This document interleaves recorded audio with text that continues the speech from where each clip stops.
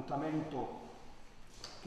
a piedi, in bicicletta, con il trasporto pubblico o con i veicoli elettrici per vivere la città nel pieno rispetto dell'ambiente attraverso 60 appuntamenti tra convegni, mostre ed esposizioni. Torna dal 16 al 22 settembre la settimana europea della mobilità sostenibile nella capitale, il più importante appuntamento annuale in tema di strategie che favoriscono il rapporto mobilità-sostenibilità negli spazi urbani. Diversi gli appuntamenti in programma dalla giornata europea del car sharing in Campidoglio all'Open Day Metro C e ATAC, dai forum sulla mobilità sostenibile alla Backwalk, ovvero la pedalata con il blogger Nicolò De Vitis tra le vie del centro storico, fino al concerto di Simone Cristicchi ai Fori Imperiali. La settimana rappresenta anche il racconto di un anno di lavoro, spiega l'assessore all'ambiente Stella Marino. Dopo un anno di lavoro finalmente possiamo dire di aver iniziato a mettere in campo anche delle politiche per la mobilità sostenibile, quindi il PGT, il nuovo piano generale del traffico urbano che va in quella direzione e iniziative che tendono, hanno il grosso obiettivo di spostare la mobilità dalla mobilità su mezzo privato su gomma dalla macchina a tutte le altre forme che è l'elemento principale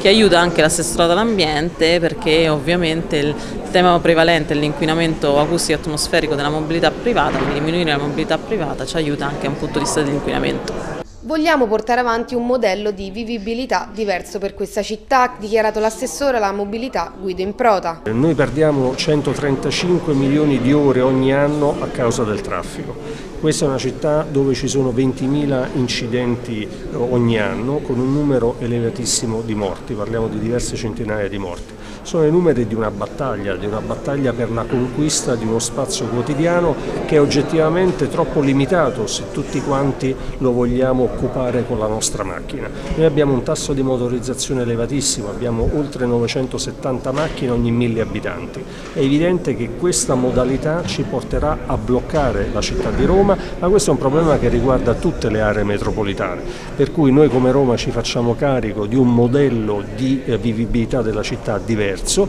in modo che possa essere poi eh, messo a disposizione anche di altre realtà eh, italiane.